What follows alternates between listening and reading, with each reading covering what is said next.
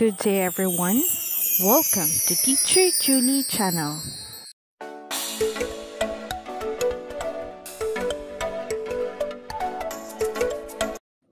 Hello everyone, we have our new topic in Science 7 which is all about abiotic components of an ecosystem.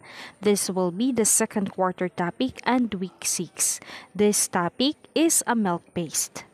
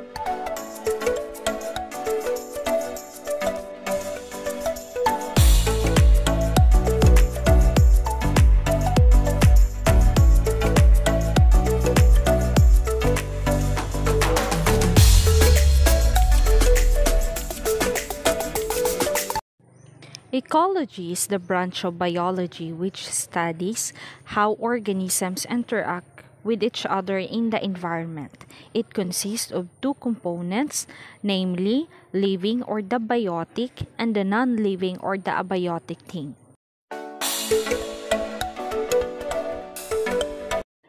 In an ecosystem, Food alone is not enough to support life. Living things need the non-living components like sunlight, water, soil, air, and temperature. For example, carabaos cannot survive without water and air. Abiotic components are non-living things which have important roles in the survival of the living organisms in an ecosystem. The following are the abiotic factors.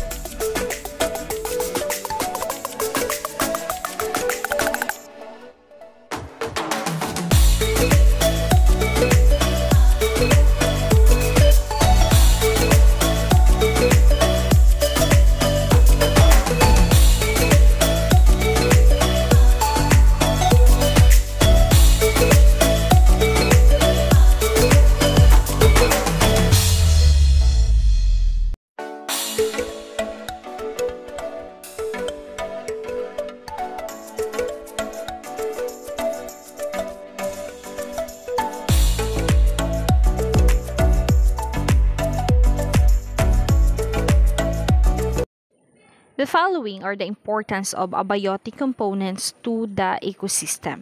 According to the National Geographic Resource Library 2020, many abiotic factors the non living physical and chemical aspects of an environment, such as sunlight levels, soil chemistry, and climate, shape healthy ecosystems. Animals and plants are dependable on abiotic factors in the ecosystem. Abiotic factors should be right in order for life to thrive. There are also some plants and animals which require a particular set of abiotic factors to survive. Can you imagine a carabao living in a polar region?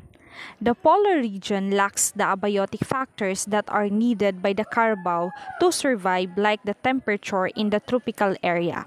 Just like animals and plants, human also requires certain abiotic factors to survive. We need oxygen which is present in the air for our body. Also, Earth's atmosphere acts as a shield against the ultraviolet rays from the sun ecosystem change over time. Therefore, the abiotic factors of the ecosystem also change. For example, the acidity of the sea has increased and some fishes are not able to adapt. Hence, these fishes suffer. We also learn to change the abiotic factors in our environment, like cloud seeding to modify the weather condition. Another example is the rising temperature in our planet due to climate change. Polar bears in the cold region find it difficult to survive since the icebergs are melting. Therefore, the abiotic components should not be altered for the living organisms to live and survive in their environments. Human beings should take good care of the biotic and the abiotic components in the ecosystem.